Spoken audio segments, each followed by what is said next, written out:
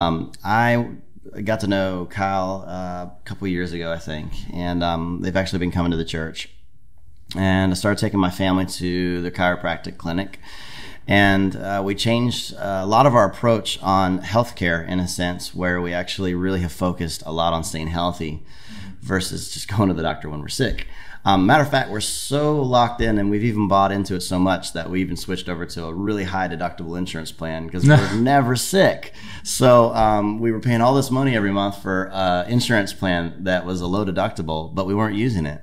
And so um, I would even say in the past couple years, we've just we've hardly gotten sick. Um, I used to have um, I used to have uh, allergies really bad, which today they would be acting up terribly. Um, and then I had uh, sinus infections. Uh, about twice a year, I'd get a sinus infection. And uh, I haven't had a single sinus infection. So um, since I started just uh, making some slight changes, getting adjusted. And so, but the point of today is actually that we want to sit down and just provide some really practical ways that people can become more healthy um, you know, we've got this big. The media is making a big, scary coronavirus right now, and it's they're they're just throwing out fear, fear, fear, fear, and um, we want to just just equally throw out hope and you know faith that you don't have to be scared. Actually, you know, we'll probably talk about it, but being fearful actually can release stress, which actually does the opposite. And so, um, we just want to sit down and practically talk about some things. Some people have sent in some questions and uh, what that looks like. So, Kyle, uh, I'm going to let you kind of kick it off. One of the things we want to talk about is uh, the topic of becoming your own health expert, basically. Yeah. And so, let's just jump in. Cool. Okay. Um, so, just kind of starting off on, on my end, so when, we, when we dive into like fear and everything else too, um, there's no one that isn't going to have that at some level, you know? And so we, we all have that. It's just understanding that when you understand how your body's made to work and you um, we call it become your own health expert but at the end of the day it's just understanding what health is. And if you have this underlying base of this anything else that comes at you like you know on the news they're saying this virus is going to kill everybody or, or, whatever numbers are or you have to have this vaccine to, in order for this to happen. And they throw all these things at you by these experts that look really smart on tv and your mindset is oh they must know what i actually saw some social media posts are like how are you going to question these experts? They put their whole life into this career, but then you also don't understand those experts are also working for a corporation. So, um, but not to go there, but just knowing that when you understand your body and you understand health, then you the fear actually isn't as big because you can always go back to wait that doesn't line up kind of deal. So, um, so yeah, when it when it comes to becoming your own health expert, I like the idea. Um, if you think of our healthcare system as a whole right now, it's more of like like a um, we call it a fire department system or emergency care system. Mm-hmm. Does that make sense? So yeah. it's like if you, um, let's say you're having a heart attack, not you, because I wouldn't say that to you. Somebody's having a heart attack somewhere in a dark place.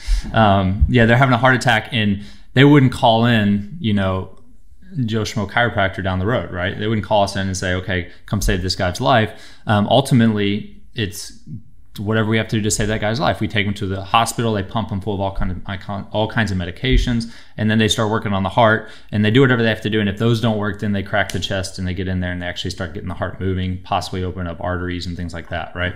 So that's your emergency care system. So think of it. We call it the fire department system because it's the same thing as if, let's say, you go home today and your house is on fire. Right. So imagine your house is on fire. What's the first thing you're going to do? Call the emergency. You're going to call the fire department, right? So you call the fire department. They show up. They have a, um, a axe and a hose. They have two tools, right?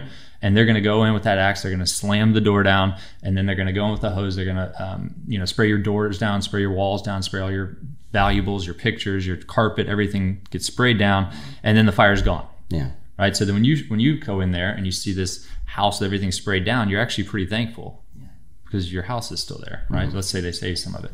And so you can rebuild that house, but now the next day, you know, the fire department's looking at it and they're like, look how great we are. And they are great because they just saved your house's life. It wouldn't be there. But the next day, are you going to call the fire department to come spray it down again? right? It's like that doesn't make sense. Yeah. Well, that's what we're doing is we're saying, okay, you had this heart attack, and instead of saying why did you have a heart attack, what's happening in your body, what can we do to make sure that never happens again to get you healthy? We're saying everybody's the same. Take an aspirin, take a cholesterol med, take a um, blood pressure med, and, and, then maybe a blood thinner, and then go on, and that's what you're going to do for the rest of your life So in essence, we're calling the fire department to come every single day to water down our house Yeah. with the medications.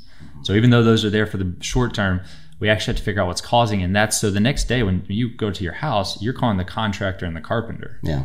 right? And that's kind of what what we are. I mean, Yeah. That's what that's what real healthcare actually is. So you got emergency care and then you have healthcare. So the first part is to understand that principle. If you're not in an emergency, then we don't want to act like you are. Yeah, so you know. good. So Yeah, I mean, our, our healthcare, and this might be something we get into in a little bit, is actually, uh, like you're saying, it's really more of a sick care. Um, it's not really much about health. I mean, you know, the idea is addressing people that are sick, but what we're talking about is really how can we keep people, you know, from getting to that point. And, and so for us, that's a really big deal because I think a lot of people are asking questions. Um, it, it's it's actually a really good opportunity for this message to shine because people haven't really worried about it before, and maybe not worried, but they haven't focused on it before. yeah, they think heart disease, but they think like years from now. Exactly. And and you go out now and everyone's concern is how can I stay healthy all of a sudden? How can I and it's like we've really got an opportunity. That's to take this um, and shift it and really get some momentum for people getting more proactive about being healthy. And so um, it's just what I'm seeing. Is I, I, there's a lot of fear in there also, but uh, at the same time, I think there's an opportunity to speak into it from a health perspective. Yeah.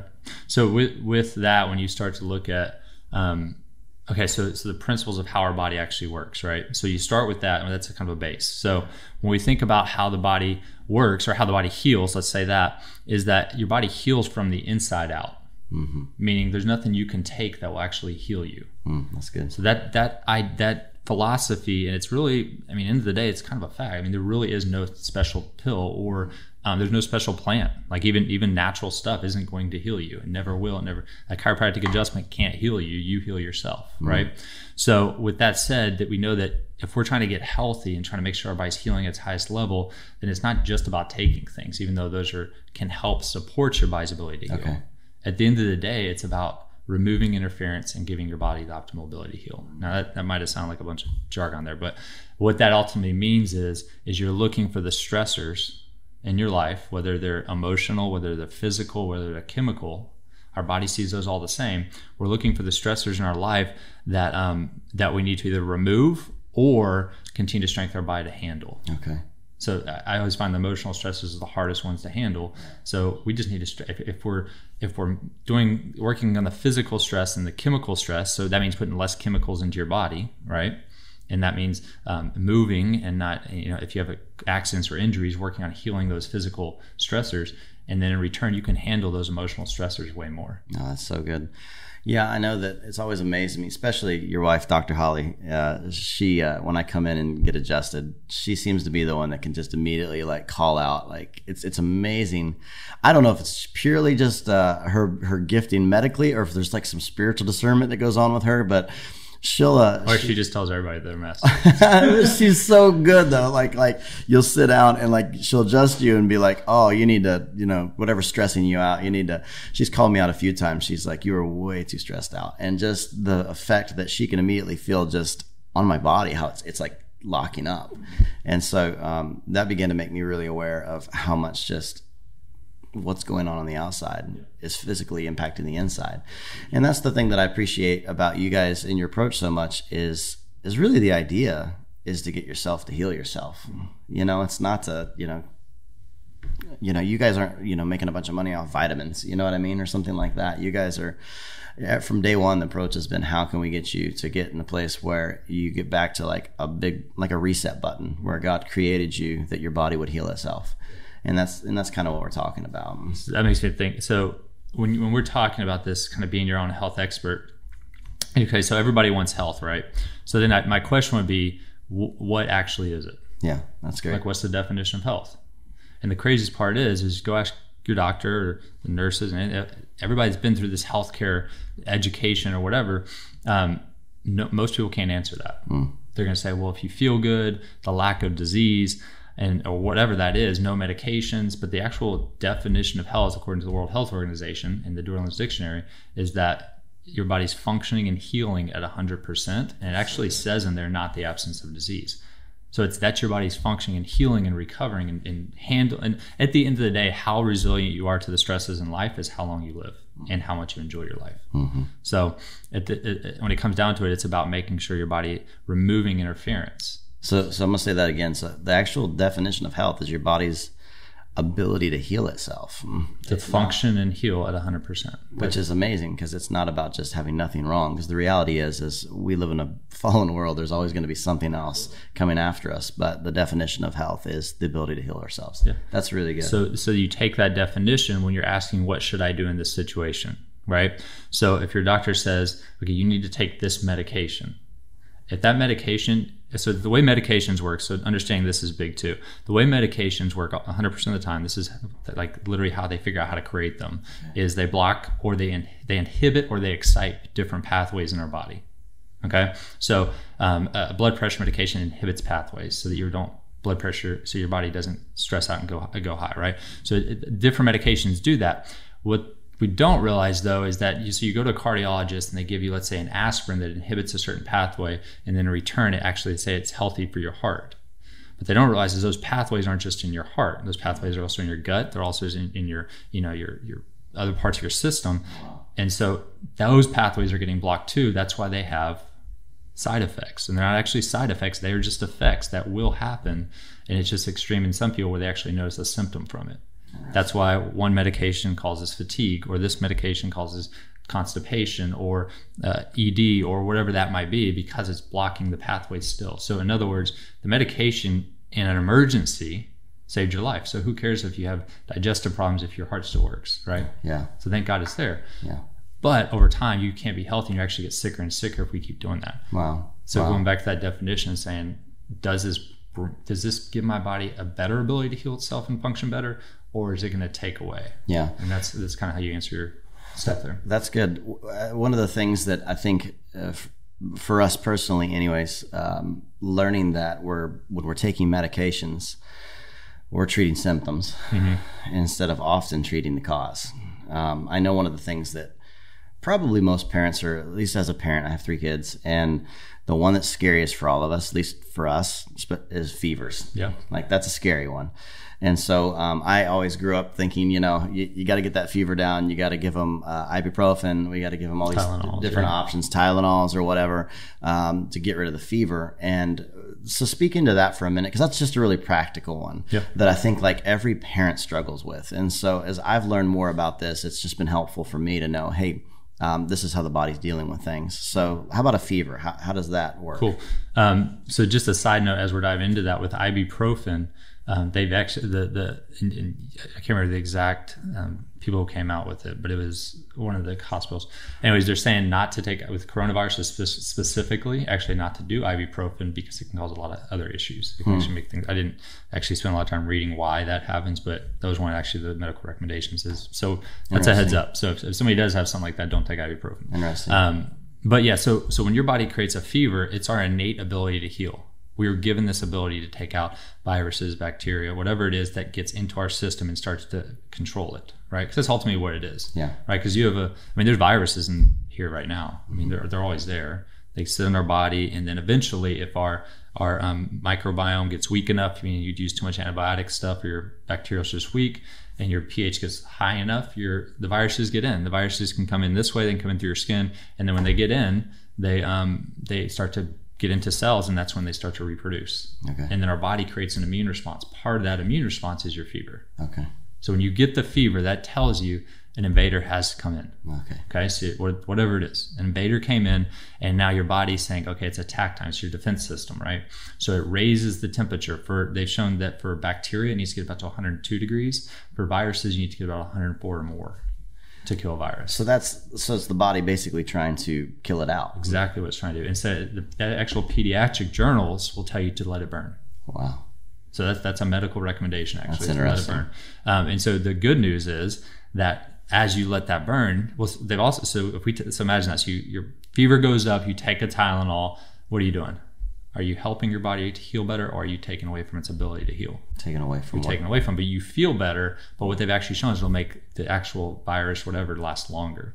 So um, yeah, so, so you let that fever burn out, and let the biggest thing we have to get back to is having faith in our body's ability to heal. We have more Mm. faith in man, his drugs, than God and the God He created. That's so good. I mean, it's just the end of the day, that's what it is. It's fear is why we do the fever. I'll tell you a personal story. So, um, our, our daughter Eleanor has um, actually never, she had one fever when she was, I think, a year and something. And we, this is cool. We adjusted her and it literally went away. Um, I'm not going through why, but yes, it is. And so, but then from there, she's never had really anything since then. This last January, Isabel, with Is- Isabel being born, um, us not sleeping, just a lot of stress going on. Um, she got a she, she Holly had a fever, and then Isabel, or Eleanor got a fever, right? So I slept with her, slept with her that night. Fever was really high. It was like a 104. So we kind of knew, okay, this is a virus. Her body's fighting it, and we just supported it. We adjusted her. We gave her um, her her you know vitamin D3 and those things, and just let her sleep. And in the middle of the night, she actually had a seizure, so a febrile seizure. So and and at night automatically like, oh, that's really scary, and it was Yeah. fairly scary. But at the same time, I also know that that that your body uses a seizure to break a fever. That's how smart our body is as a backup system, right? So it uses the seizure, and, and if you Google febrile seizures, it's actually very common and not a big deal. There's no problem with it. It's not a you can't medicate for it. You just let it happen. So she had a seizure, fever dropped to 102, and then um, she went to sleep. We woke up the next morning. She um, had horrible diarrhea, and then everything was gone. Wow. so like it was like her body just like completely doing everything it can to kill this thing, get rid of it, right? I, I know I've got a friend that uh, actually just went through. Um, he he was diagnosed with a extremely rare form of cancer. Um, it- matter of fact, all these different schools even wanted to send people out to turn him into a guinea pig to a degree because it was such a rare form. And uh, he chose to go out to uh, Spain to have a bunch of treatments done, which is uh, I talk about that another time. The results have been absolutely mind-boggling. I mean, he's almost 100% back and everything. But one of the treatments was uh, stuff with his body temperature, just bringing it up really Yeah, they do high. high, high like hot tubs and stuff like that. Yeah, And yeah, and yeah. just I mean, it bring it. And he said that was one of the most brutal parts of the tr- treatment, but it's killing everything off. it's like 110 degree hot tubs they make him get in and stuff. That's rough. yeah. So, well, um, segueing a little bit. So, we're talking uh, about just learning how your body works. Let's move over a little bit more into the, um, let's say, the top, you know, top five ways maybe that we can build a strong immune system. Because that's the one thing that even the news keeps saying is that people with strong immune systems, you're good. I mean, that's that's basically what they're saying. So, how can we create a strong immune system that's really, you know, practical for people that are saying, "I'm stuck at home for the next couple weeks. What are some things I can begin to do now?" Perfect. So, um, to, I, want, I want you to understand the immune system, and I won't go too long into this for time, but there is one big thing you want to understand so you know, because then it teaches you how without even me giving you five things. But I'll give you some five things, but there, Yeah. you, you'll, you can figure these out on your own after this. So, the only reason our immune system would ever be low, okay, so the only reason it's ever going to go low is if your body is in fight or flight stressed mode. If you're in balance and you're in homeostasis, which we call balance, like nervous systems going back and forth between parasympathetic and sympathetic, just fight and flight or calm, um, your immune system will work the way it's supposed to. Your digestive system will work. Your every organ system in your body will function properly the way it's supposed to. It's when we're stressed, and again, it's either physical stress, which a physical stress could be a gut infection. A physical stress is something you have no idea about, or in, in essence, and if you don't know about, it, you have no control over. So that's why some people are just like, I have a low immune system. I've done everything right, but it's still low. It's because there's more to it. It could be more to it than that. But end of the day, if your body's way up here and you're in stress mode, your immune system's going to be way down here. Wow. So the answer to get your immune system back up is we got to get you back to here. So you first step you do, number one, I would say to evaluate the stressors in your life. Which is in our culture, Yeah. pr- most people are pretty stressed. Oh, we all are. I mean, Yeah. well, one, we are because for some reason. I mean, just like emotional stress. So think about this. So think about the depression, which we're not going into Yeah. right now, hopefully. uh, but just think about the depression. They didn't have crazy rates of heart disease, cancer, diabetes, all that stuff. But were, were they pretty stressed? I mean, abs- I mean, I'd assume they were pretty stressed. So, but they didn't have the physical, the chemical stresses that we have. So the emotional stress, I really feel like human beings are made to handle. Mm. I really do. Like we're pretty resilient people, uh, Yeah.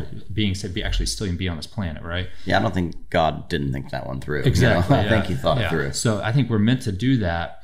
Um, but I think the physical and chemical, especially stresses, have gotten so big on us that our bodies are just going literally just trying to survive. Wow. And we're stuck in this fight or flight mode, most people are. So, number one, evaluate the stressors, but you have to know that stress isn't just emotional.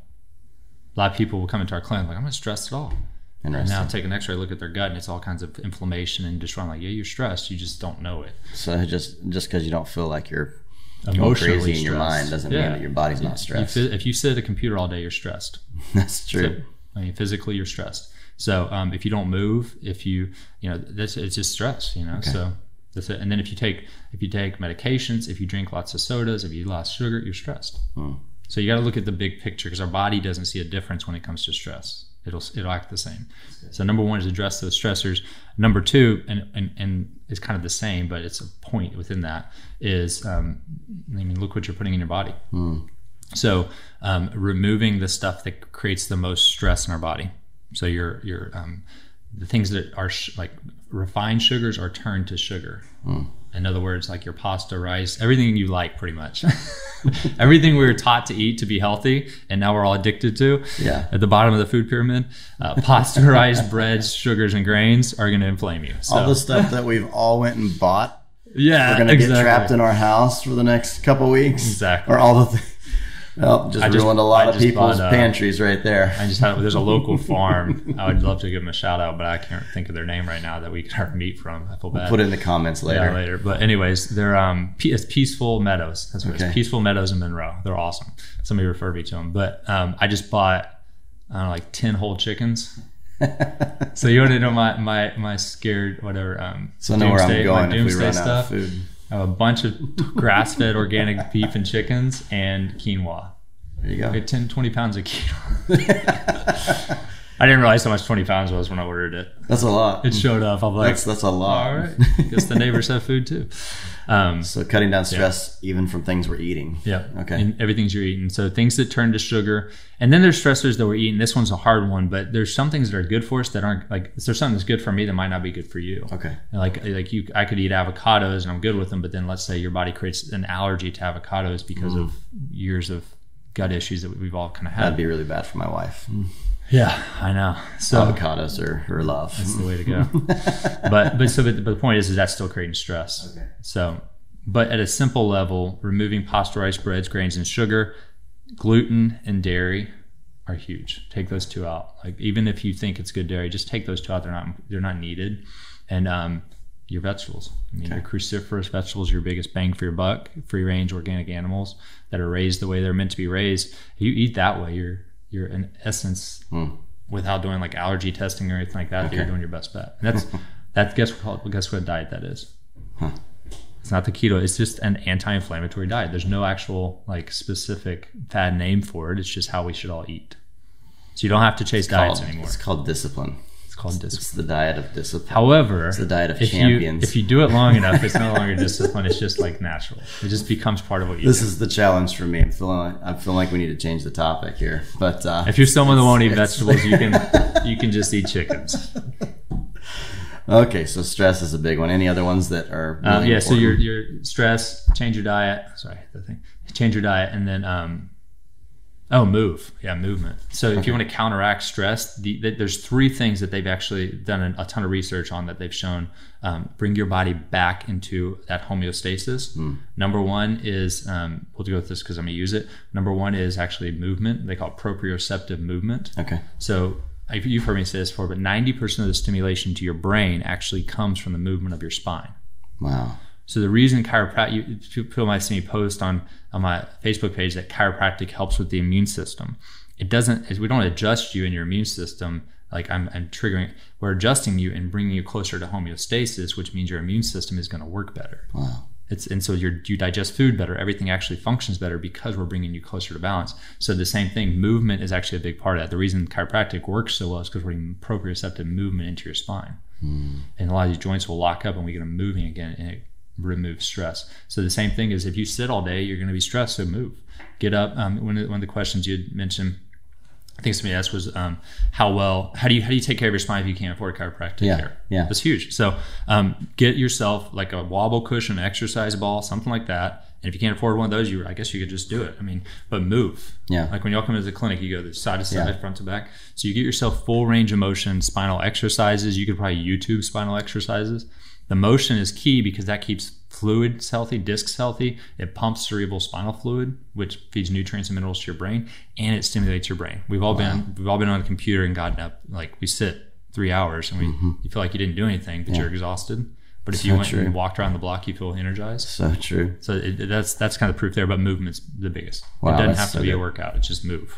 So, I mean, I feel like we could talk for hours on this stuff. I have a feeling we're gonna have a lot of interest on this.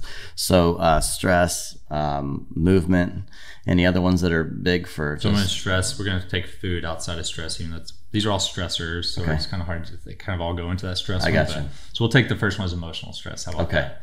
And I'll, actually, let's circle back on that. Can we do that? Sure. Okay. So the first one's stress. We're going to keep it emotional stress. That first one we said. So the number one, uh, and this I, I, to throw quick tips for emotional stress is almost like funny because it's like that made you made that sound really easy and no one can actually do it the way it just comes out of my mouth. Yeah. But these are really good ones. So perception. One of the things I always do when we speak is is we do this idea of um, like thinking of a, a puppy. Mm. So like if you just thought of a puppy right now, what, what kind of puppy are you thinking of? um, this puppy I just saw on Facebook, but Yeah. What is it's it? this a little fluffy dog, A fluffy brown thing or something? That got into a jar of strawberry jam. But Okay. So when you think of a puppy, are you pretty happy thinking about? yeah, I am pretty happy actually. did you ever the puppy? Uh, it was pretty funny. it was the puppy though. So you, you you think about this puppy and you're like feel really like sweet and cuddly and you just like want to like it nibbles your ear and you're just Yeah. comfort right.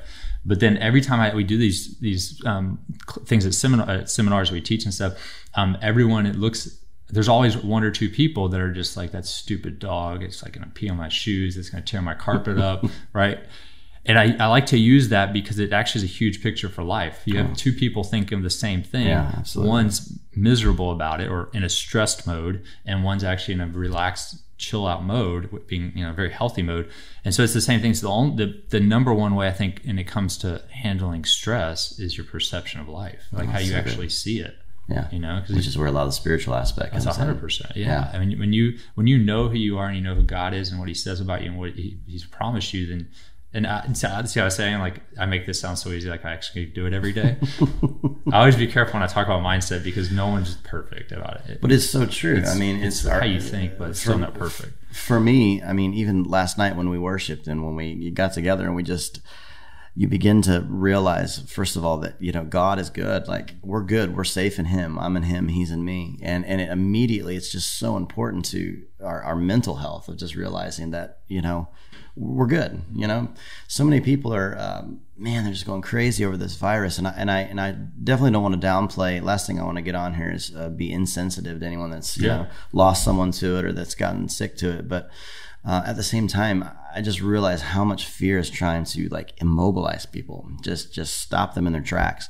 And uh, it's it's a time where uh, I even heard a friend of mine got online recently. Uh, the worship leaders out at Bethel Church said, "Man, what a time to just keep worship music playing in your house. Like just Yeah. just keep the presence of the Lord there because it's so important to your spirit health. But from what you're saying, to your emotional and your physical health. Oh, 100%. Tremendous. Yeah. And uh, that's, I think, the mindset and the emotional part of it and the spiritual part of it is by far. You see people that, I love this concept, the people that drink Diet Coke and live to 110 or smoke cigarettes and live to 110. true, right?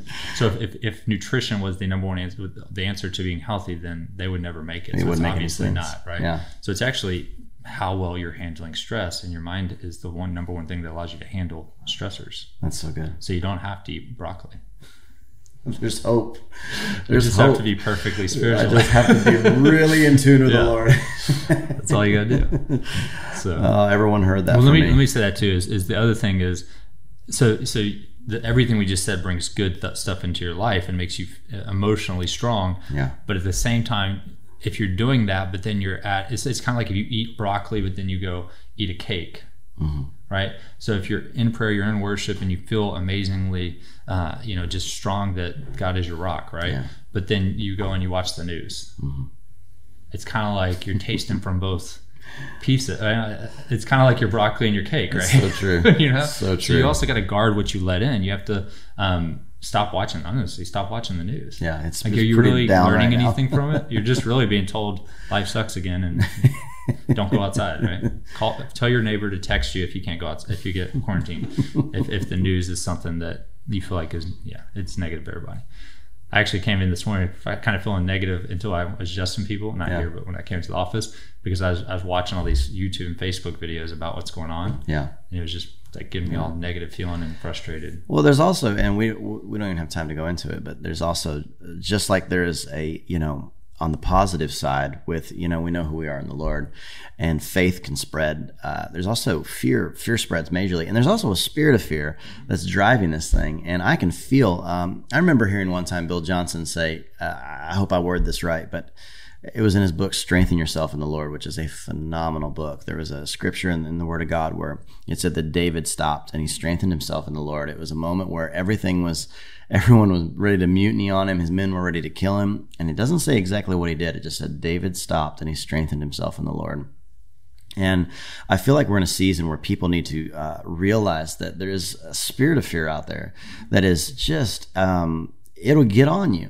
It's it's and uh, what he said was is I remember Bill. He said he said it only takes me about. 10 minutes of focusing on something negative before I start going down this path of negativity and this dark cloud gets over me. And it doesn't take a long time. It can literally be five to ten minutes of just watching negative stuff on online or talking to someone on the phone that all of a sudden you felt fine before they called.